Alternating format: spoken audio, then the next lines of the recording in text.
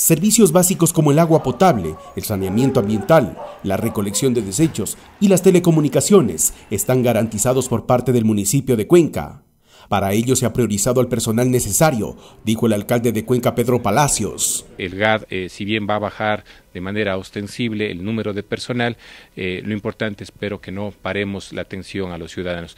Hay empresas eh, que sí tienen que trabajar en una buena cantidad, etapa, etapa tiene que trabajar una buena cantidad de sus funcionarios, EMAC exactamente lo mismo, Farmasol, el Hospital del Niño y la Mujer, los Medisoles, todo el Frente de Salud va a trabajar con todo el contingente porque eso es importante. Mercados está trabajando con un buen contingente para la dotación de víveres. Servicios como la matriculación vehicular definitivamente están suspendidos.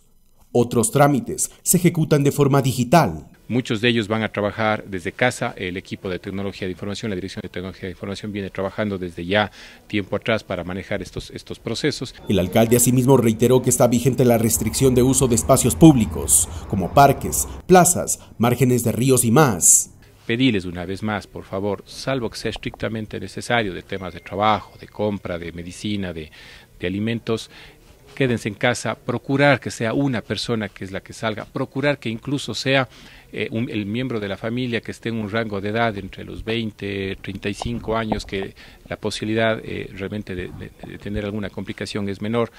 Hagamos, hagámoslo por ustedes, por sus familiares, por los adultos mayores que son los que más riesgo tienen. Iván Rodríguez, Unción Televisión.